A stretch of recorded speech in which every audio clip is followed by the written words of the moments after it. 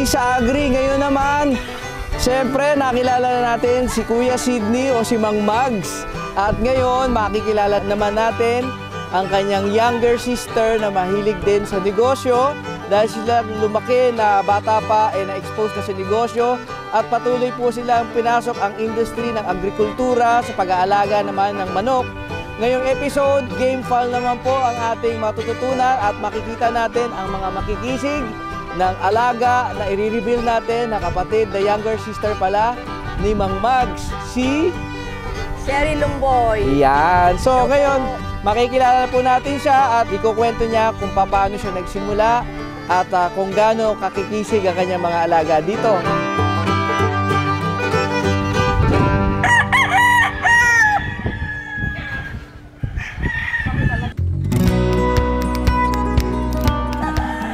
Si Sherry Lumboy ng RW Game Farm, Russell Wilson Game Farm, Philippines. Yun po. Dito po tayo ngayon sa aming farm. Yung farm po namin kulang po ng 1 hectare. Sa ngayon po dahil meron na po kaming pangalawang farm, kumbaga pakawalaan na po ng mga na range po namin. Meron po kaming mga sweater, meron kaming Boston, ah, yellow-legged hatch, Albany, Gal, at Claret. Lahat po talaga galing po ng Amerika. Wala po kaming local. Meron po kaming farm sa California. Ang nagbibreed po mismo si Russell Wilson, asawa ko. Tapos ako naman po dito sa Pilipinas. Pagka nasubukan niya sa Amerika, yung mga breed po niya, pinapadala niya po rito sa Pilipinas. At ako rin naman po yung sumusundo sa airport.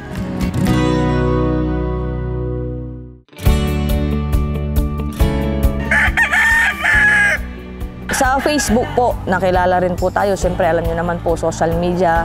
Tapos po, sa pagbablog ko, dahil nagbablog din po ako. Before po, ako po yung nagmamanage nung business namin doon ng kuya ko sa Dagupan. Yung pong restaurant. Bali, ako po yung nag-manage doon ng 5 years. Nung bata pa kasi kami, may business yung mga tita ko, side ng daddy ko kami yung mga nagbabantay doon.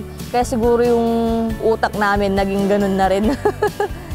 Nung una, medyo mahirap na parang ayaw mong bitawan. Ayun, hanggang sa, yun nga po, sinuportahan ko na lang si asawa ko sa ganito dahil nung nag-breed po ako nung una, lahat naman po turo niya sa akin eh, ni Russell, kung paano yung mag-breed, yan, naka-video palagi, ganun kung ano yung ginagawa ko, ganun po. Pero bago ako mag-umpisa, businesswoman na talaga, yung hilig ko. Yun po, yung mga iba nagtatanong nga kung paano, ganun. Basta matyaga ka lang po talaga.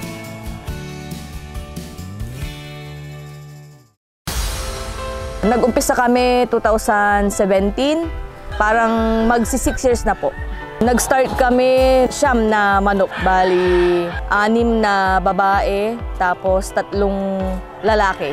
So, tinuturo niya palagi kung paano yung gagawin ko, ganun. Kasi nga siya yung talagang unang-unang nagmamanok na may mga manok siya rito sa Pilipinas hanggang sa kinuwento niya na wala na.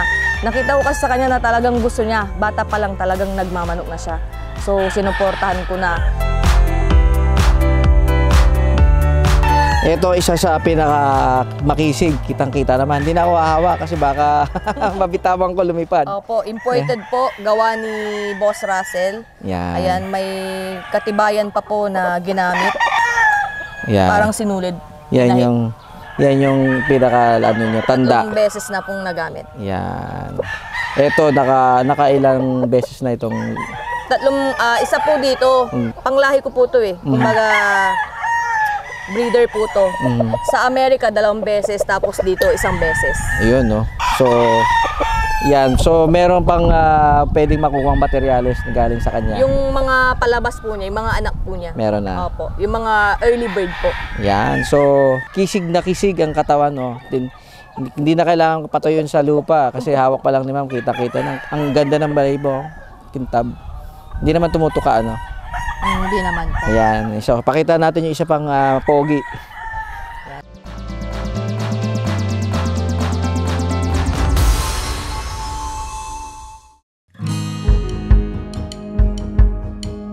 Yan, sabi nila ang daddy ko raw pero 'di ba bata pa ako wala na ang daddy ko. Pero si kuya ko, galit ako. Galit ako sa nagturo sa kanya kasi kuya ko si Dren, hindi rin niya alam yung magmanok.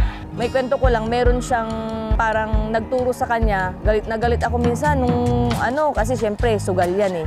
Yung pag alam mo na pag sinabing manok, sugal, nagagalit ako noon dahil ayaw ko po talaga. Okay naman si Kuya Sid, hindi siya madamot. Noon, nung wala pa ako dito, ayan, yung sa, sa restaurant pa, mm, nagtutulungan kami.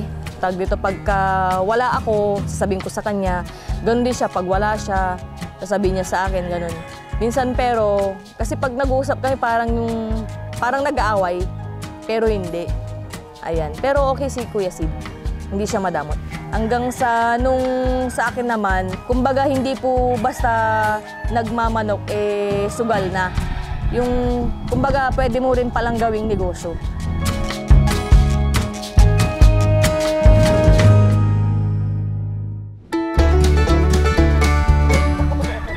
Eto ma'am, anong line naman ito? Ito po, claret po siya. Apat na beses na po. Yan. Ang ganda. Grabe. So may materialis ka rin ito ma'am. Opo, meron po. Yan. Pa-out. Pa-out na. Bali, palabas ko na po ito dito Mhm. sa Pilipinas. Mm. Island born. Island born siya. Ang ganda. no? Medyo mapula-pula yung paa, no? Ang ganda. Ano, ano. Tsaka ma, parang mabow-bony siya, no? Opo. Solid yung ano niya, oh. Paa. Gan- ang dam- pa- parang big, medyo big bone siya, no? Opo. Anong pong karakteristik na hinahanap ng ating mga ah, mahilig sa pag-aalaga ng ganito? Yung, syempre, yung mga angat. Mhm. Ganun. Pogi. Pogi. Pogi. Sana all pogi ang manok.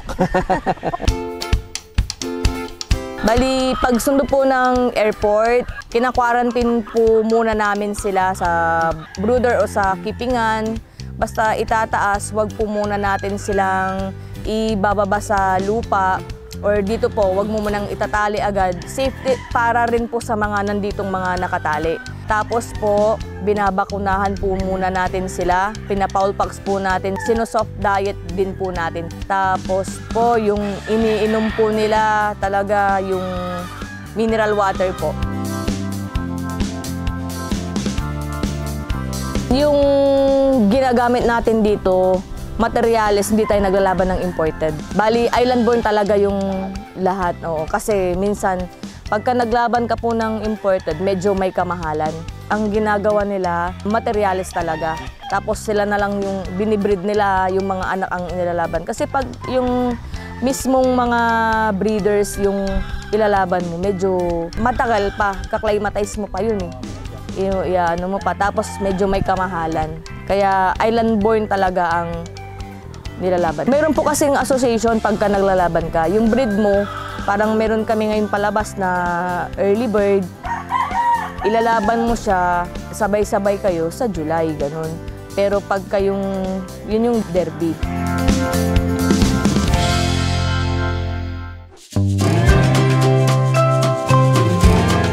Pangatlo sa pinaka-pogi.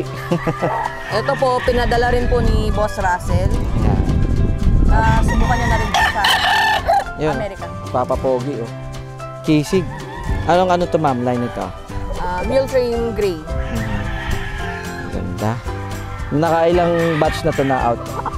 Nasubukan na ni Boss Russell dalawang beses Dalawang sa beses. Amerika. Pero dito hindi po namin Ah. ginamit. Kumbaga, pinaglahi po namin siya dito. Ah. nakailang batch na yung lahi niya dito. Ang alawa ngayong taon. Oh, yan. Papa Pogi, boses pa lang, kisig, ano? Ganda, sarap hawakan. Ayoko lang hawakan, baka tukain ako. yan. Dito po sa amin, pag hindi po nasubukan, hindi na po namin binibreed. Dahil yun nga po, mahirap pong mag-breed nang hindi ko pa nasubukan. Marami ka pong masasayang. Masayang oras mo, pera mo, pagod mo, lahat po. Kaya po hindi kami nag-breed nang hindi pa po namin nasubukan.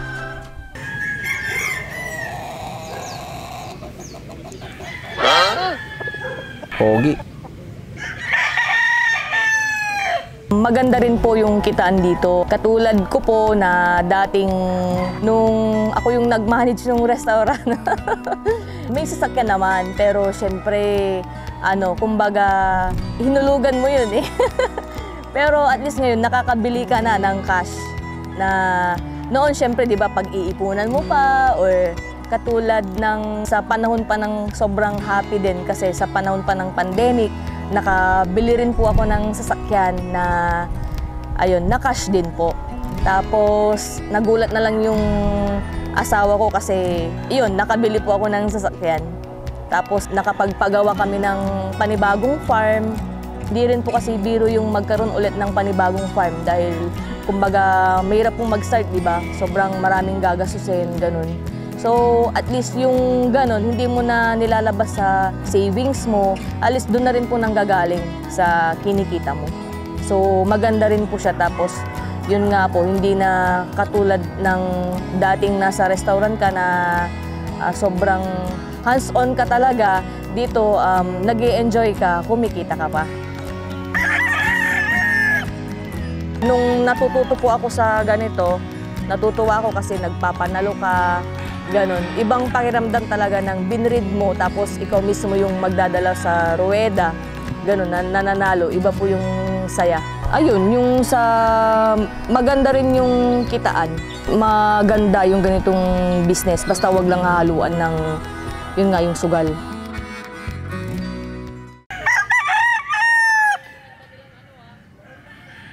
Ayan po, so ito po ang isa sa pinakamagandang ah, negosyo sa agribusiness. Isa pong ah, opportunity para sa atin. Kita nyo naman si ma'am.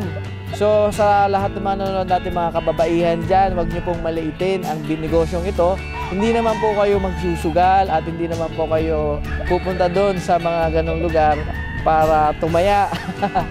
ito po ay isang negosyo na high demand po sa industry ng game fowl. Kaya si ma'am sa kanyang negosyo na na-reveal natin, si Kuya Sid, si Mang Mags pala, ang kanyang kuya. Sa kanilang pamilya po, sila po ay mahilig pala talaga sa negosyo.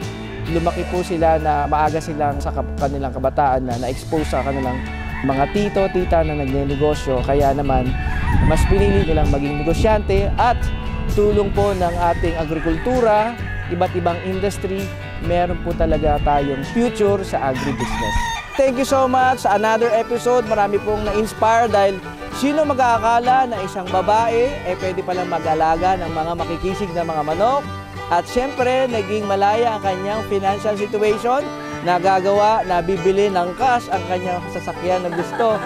Ma'am, thank you so much. Thank you din po. Pag-share nyo ng mga pogi ninyo ditong mga alaga. Salamat din po. Mas pogi pa sa akin itong alaga dito. isa na naman pong inspiring na episode na pwede po natin ma-achieve ang ating mga pangarap ng dahil sa agrikultura. Kaya... Agri sa agri. Agri, agri sa, agri. agri. Kawai!